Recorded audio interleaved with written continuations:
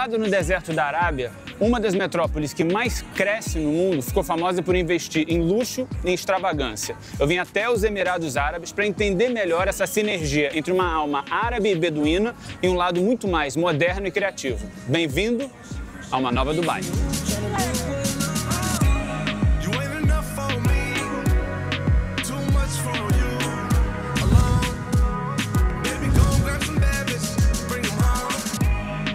Dubai foi o primeiro grande produtor de petróleo no Oriente Médio a pensar no que eles fariam depois que seus poços secassem.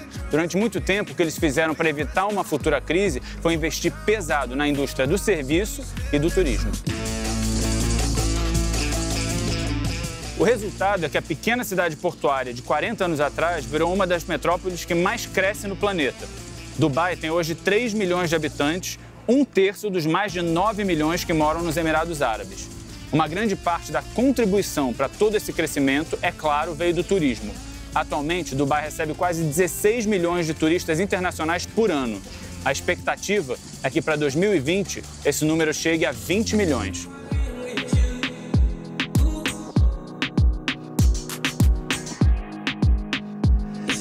Dubai tem investido muito em cultura. Um bom exemplo é a Ópera de Dubai, que é digna de qualquer grande metrópole no mundo. Agora, se você está procurando uma cena cultural mais alternativa, a Avenida Alsecar é uma boa pedida. São mais de 60 espaços que são dedicados à arte e gastronomia num lugar onde não existia absolutamente nada 10 anos atrás.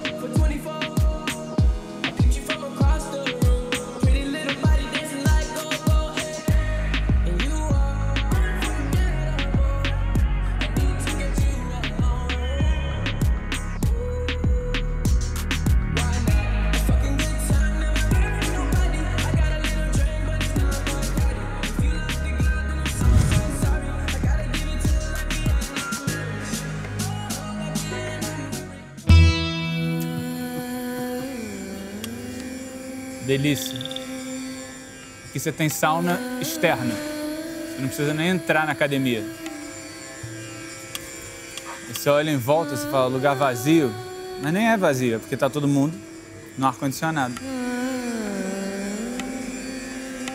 Né?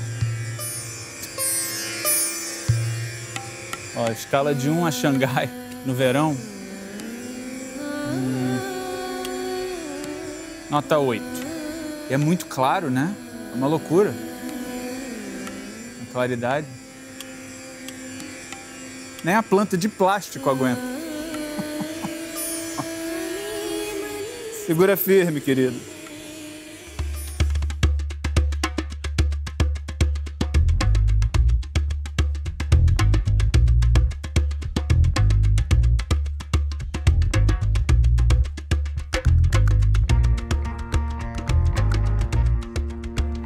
Pioneiro aqui da Avenida Alcercal e desse lado cultural mais autêntico e criativo de Dubai é o egípcio Shad Megala, DJ e dono da única loja de discos de vinil de Dubai, a Flipside. What a cool place. Thank you. I'm glad you like it. How long has your shop been here?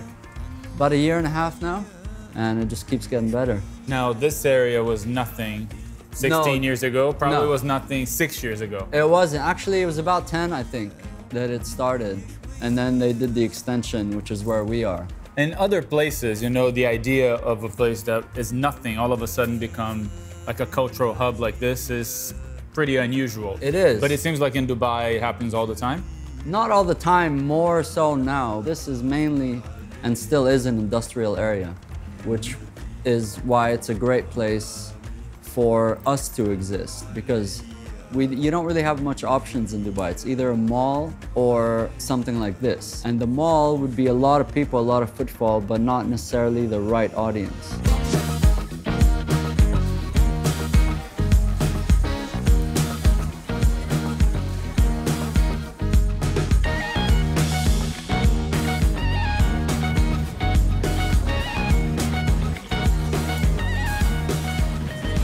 Quando a gente pensa em Dubai, imediatamente a gente pensa em compra de luxo, em marcas de grife, mas Dubai fica no mundo árabe e como vários países dessa região, essa cultura do souk, desses bazares na rua, é muito forte. O que é interessante aqui é que eles têm um souk de tecido, que é onde eu estou agora, tem um souk dedicado a tempero e um a ouro, que é super popular com os turistas, é claro.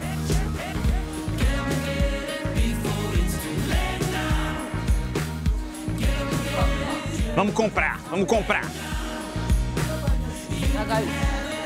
Meu bolso, meu bolso tá coçando.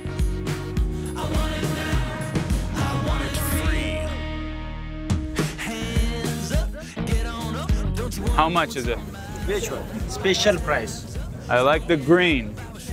How much is it? 5,000. Five thousand. Good price. Five thousand. Its color matches with your eyes. Ah, falou que combina com meu olho. Essa lorota, eles é falam pra mim desde que eu sou criança. Good. Good? Oh! Galã! Vou chegar em Manhattan com isso aqui, vai ser um sucesso. Vou lançar moda em Ipanema. How much does my scarf cost? 25. 25. 25. So really cheap price.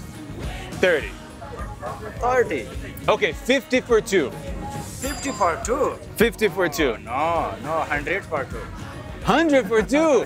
That's no discount at all. 70 and I'll take two. 70, come on. Pago minha mercadoria e pago o mico em Dubai.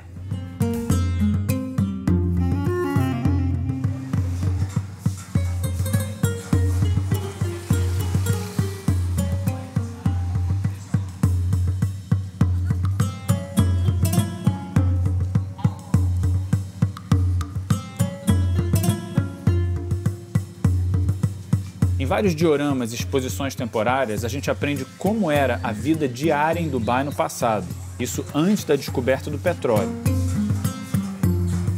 As galerias recriam casas tradicionais, mesquitas, suques e muito mais.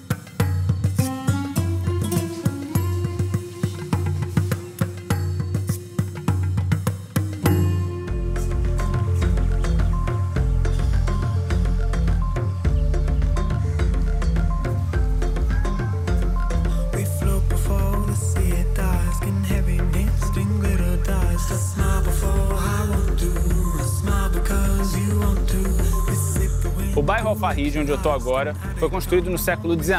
Nos anos 80, eles pensaram em destruir isso tudo, mas graças ao boom do turismo, eles mudaram de ideia e decidiram restaurar esses bequinhos e essas ruelas. Agora, aqui você vai encontrar várias galerias, coffee shops e outros negócios dedicados exatamente para os visitantes que vêm até Dubai.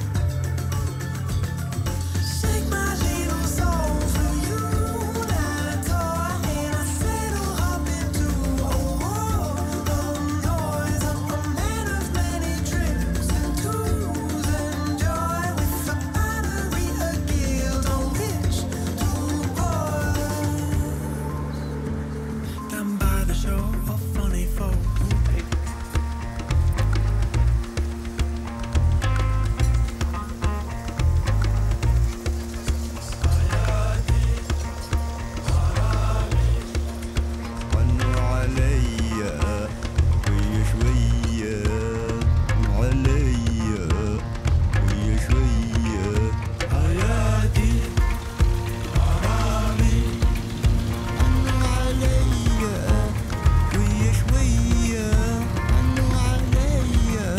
Dubai é uma das cidades mais futuristas do mundo, mas por trás desses arranha-céus ainda é possível encontrar um lado de Dubai onde a gente vê a origem modesta dessa cidade.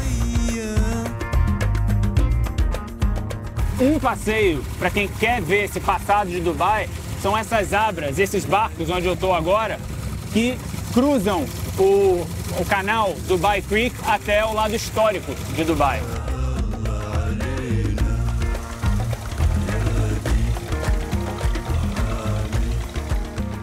Que é interessante é que elas são super baratas, elas só custam um dirham. Elas mexem muito, mas elas fazem parte do dia a dia dos locais. Então essa é uma maneira super tradicional de ver um lugar relativamente turístico.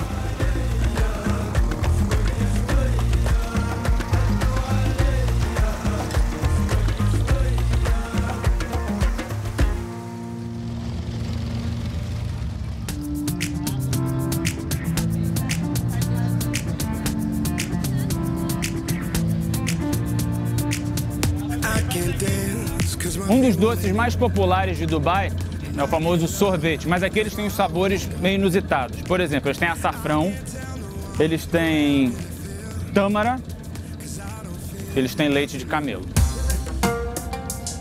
Hi, how are you? Good for you. Can I try two and I'll buy the other? Saffron?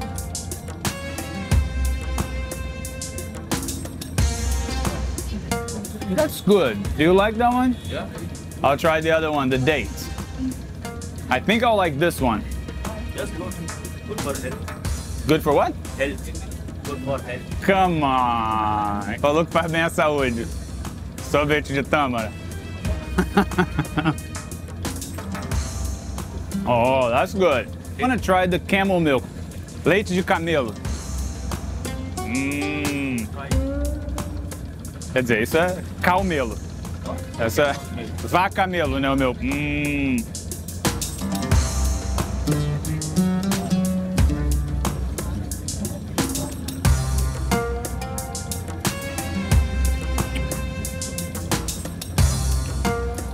Nada. Doesn't have much flavor. I think this is cow milk. No, camel milk. And you're telling me You know, because the camel milk has a little bit of salty. Oh. And this one you added the more sugar. That's why little this uh, salty. Ele tá falando. It's the That's the female camel. Yes. Male camel don't have this. Ele falou que o leite da camela ou o leite da fêmea do bicho camelo é mais salgado, entendeu? Então por isso não tem gosto de nada. Ele que disse. Ok, so half camel milk, half date.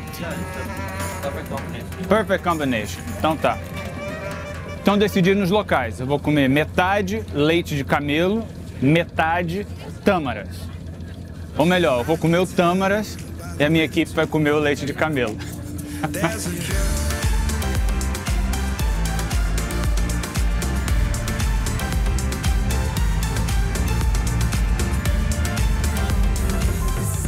Uma coisa que chama muita atenção aqui em Dubai é o fato dessa cidade enorme, cheia de arranha-céus, ter sido construída na beira do deserto. Você sai da metrópole, dirige um pouquinho e chega no deserto da Arábia. É para lá que eu vou.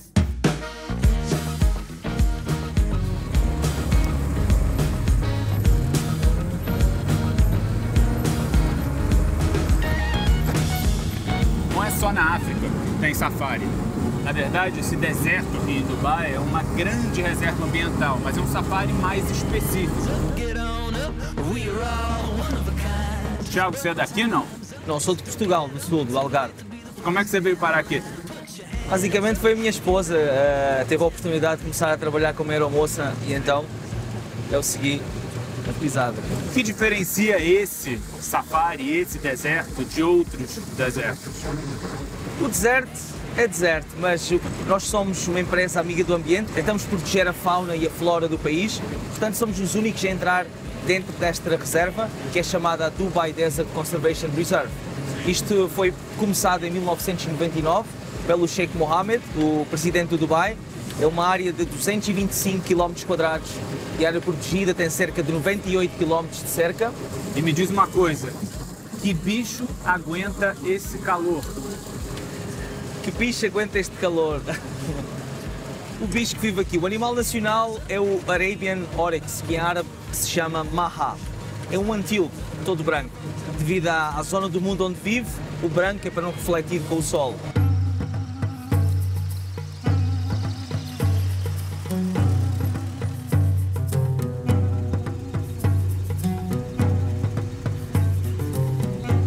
Esse é fêmea ou é macho? Este é macho. A fêmea, o chifre faz uma curvatura e o macho vai direito para cima. O oposto da gazela.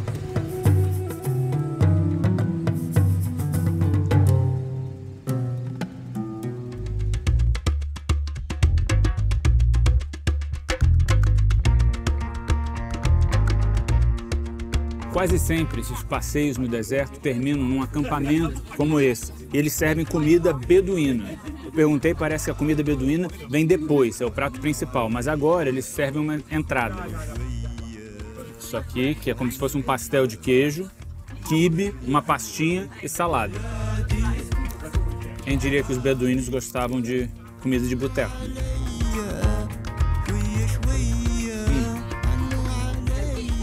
Total, pastel de queijo. Agora, o que eu tô mesmo curioso, que eu ouvi dizer que o prato principal é camelo.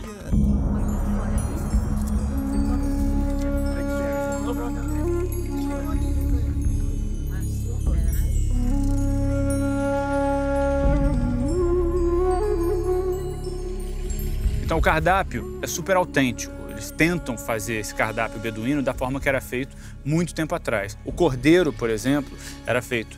Eles enterravam o cordeiro enrolado numa folha de palmeira e levava 24 horas para esse cordeiro ser feito. Esse aqui levou só 4, 5 horas. Mas ainda assim, o método é muito parecido. A receita é muito semelhante. Eu imagino que o sabor também seja.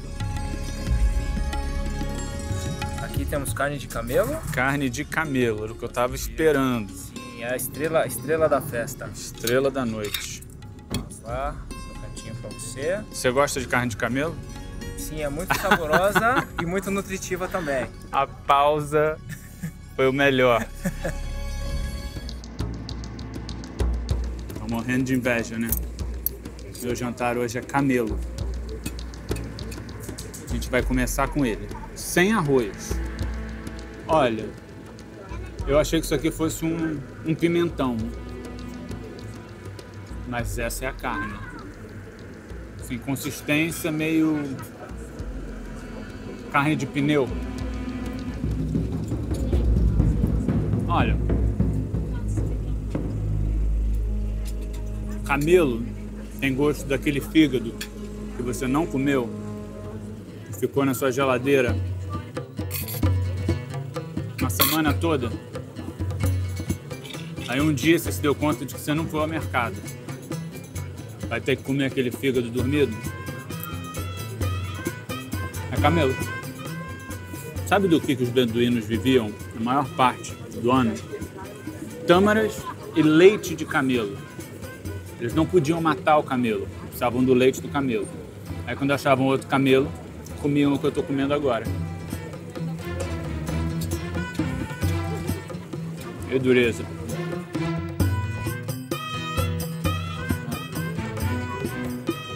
Não, cordeiro é gostoso.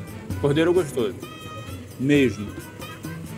Toda aquela receita, não tente fazer em casa. Não tente enterrar um, um cabrito por 24 horas. Hum. Nem fale de boca cheia como eu estou fazendo. Mas,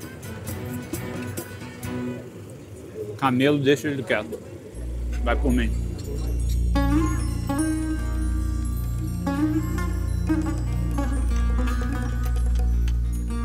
Eu vou dormir aqui. Eu confesso que os beduínos não tinham esse conforto. Agora, o que é interessante, eu achei que fosse uma tenda, mas é tudo feito de pedra mesmo. Você tem uma cama. É um pouco quente. Eu ouvi dizer que aqui eles têm, não no acampamento. Cobra, rato, aranha e escorpião. Tem um bicho ali.